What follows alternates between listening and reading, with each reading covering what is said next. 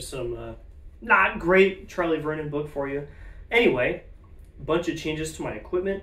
I'm still sick. I did get toasted. It is not COVID. I just had this cold. I think I'm in the tail end of it, but you can probably tell by my voice. Still sick. Um, and my air is not there right now. Just feels awful. Anyway, I got a bunch of new equipment just kind of randomly, and I got to test something that I've not been able to test yet. So, first thing, and this is really big, I got a brand new Greg Black ah, bass mouthpiece. Still so shiny. And it might be kind of familiar looking. It is a Greg Black 1G S uh, 0.3, uh, 0.312 number 2. So the same specs as my previous two Greg Black bass drum mouthpieces, but shallower. It's got a shallower cup. I'm not even sure if I can show this on camera. Here's my other shiny Greg Black. This is the stock 1G 0.312 number 2. And it is just, this is the stock one, this is the new one. I'm not sure if that's really going to come across. You can tell it's just a little shower. And what I'm looking for is a mouthpiece that's like my Laskey 90D.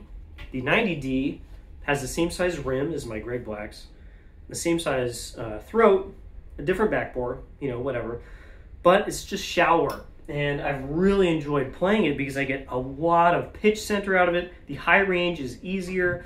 It's overall just easier to play. I can get more front on the notes. I can get better attacks in kind of all ranges.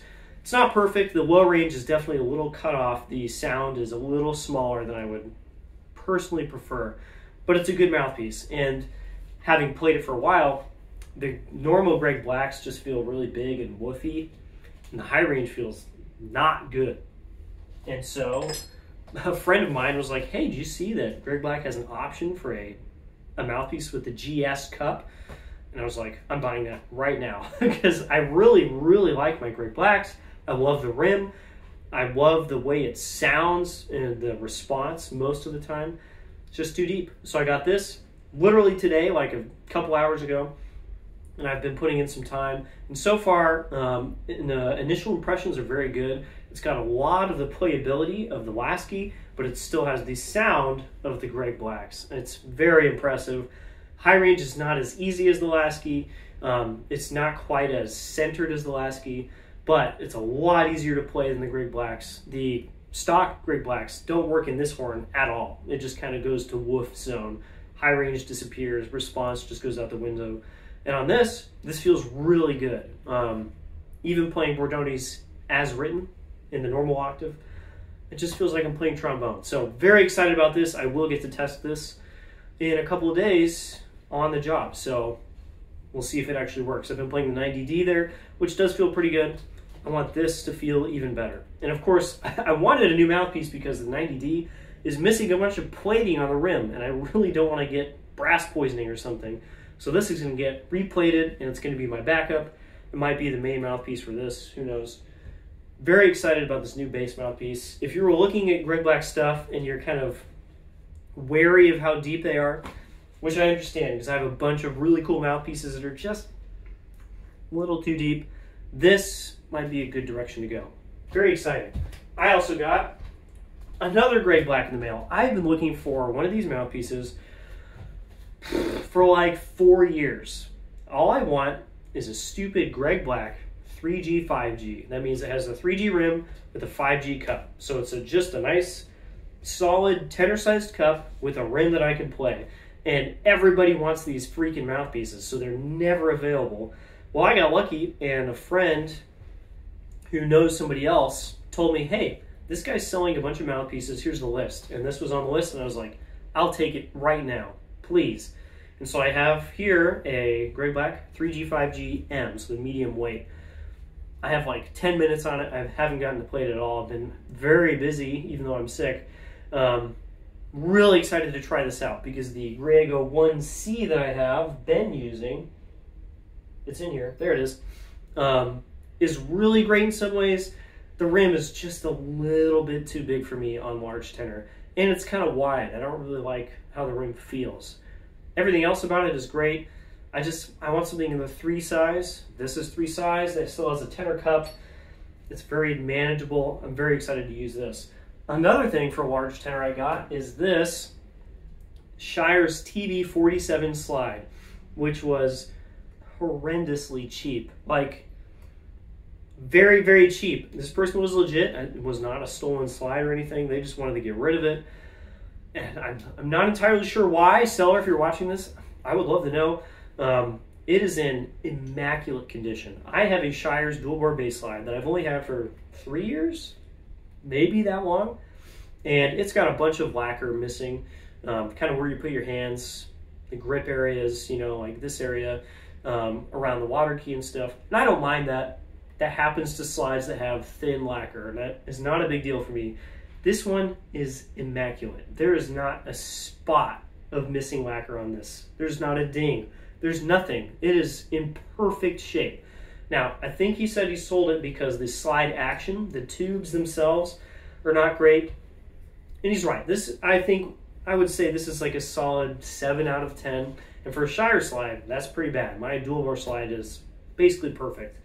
Um, but I have like a beat up 2000s 42 slide that had, does not have very good action. I can play it and it's good It does not have good action. And I have a corporation slide that has pretty good action. Um, this is way better than both of those. So I'm very excited to have this cheap slide. It did not come with a lead pipe, but luckily I have exactly one Shires tenor lead pipe that has been sitting around since it was taken out of my contrabass trombone. This used to be the lead pipe that was in the receiver of my contrabass. It is a Shires 3L not a B3L, just a T3L, the tenor largest uh, lead pipe size long. And I think it was cut down to fit in my contrabass. And it's been there for a long time. I finally got that changed out. And this has just been sitting around. I assumed I was just going to like throw it away at some point. But guess what? It still fits in a tenor slide and it actually plays pretty well. So kind of magically, I got a free lead pipe and a nearly free slide. This was so cheap. Um, very excited to see how this plays on the 42s. I'm keeping all my 42 slides until I get my 42 project and I can figure out which one matches best. Um, this might not be it, who knows, maybe I'll sell this. Um, but I'll have three sides to try. Hopefully I can get some more lead pipes to try as well because this is probably not the best match for all playing.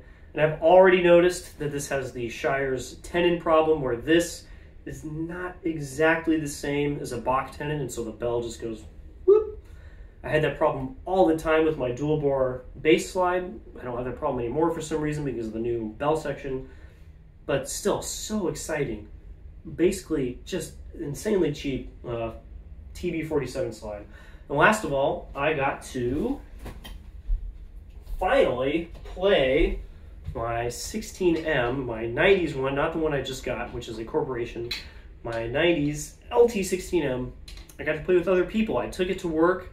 I've been playing my 3BF there, and since I'm kind of ingrained with the F attachment now, I was like, I don't know if I want to bring this. And I wasn't really sure if it was going to fit in.